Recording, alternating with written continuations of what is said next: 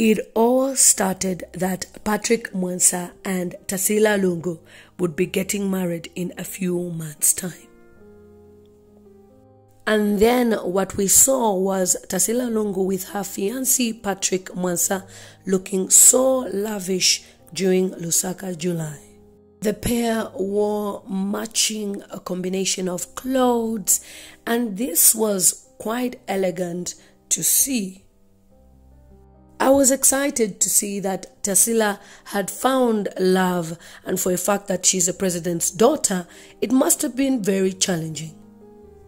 It was a yellow themed event where suspended Mayor Miles Sampa turned up as well. You could see the chemistry between the two of them. They were all smiles and all lovey dovey. They seemed to be compatible. And then last week we had seen Tasila post that she had her Chilanga Mulilo where she was honoring Mr. Mwansa. Tasila Lungu posted a thankful message to everybody that helped her to make sure that this occasion was successful. Hooray! So finally, Tasila Lungu was on the road to marriage.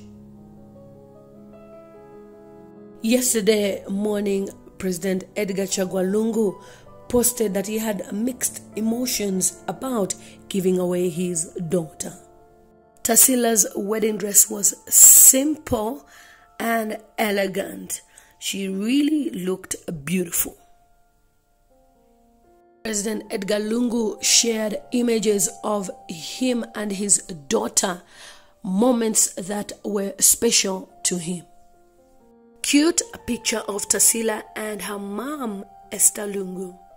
And their guests looked elegantly beautiful. This is probably the first wedding I have ever witnessed in State House, you know, like a president's daughter getting married.